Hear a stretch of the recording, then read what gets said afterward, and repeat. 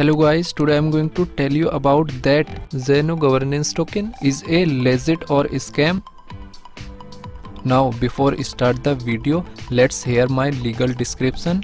None of the information given in this video should be taken as a financial advice. Please make your investment according to your own research. I am not a financial advisor. Firstly, you will open this token on CoinMarketCap.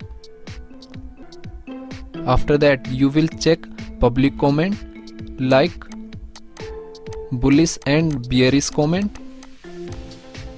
Now here you will check every comment in detail. After that go to chat section and click on telegram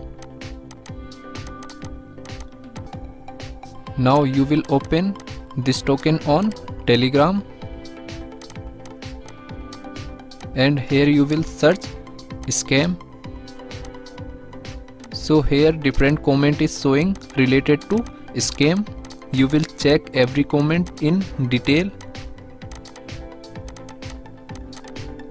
After that go to CoinMarketCap. Then you will copy this address and you will open dex tool.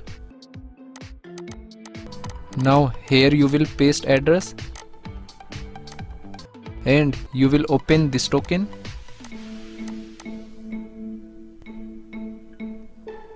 Then you will check community trust.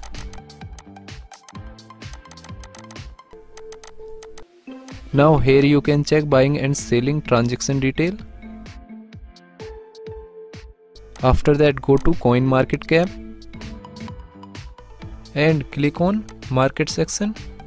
So finally here you will check that this token is available or not on popular exchanges like Binance, Crypto.com, Coinbase and KuCoin.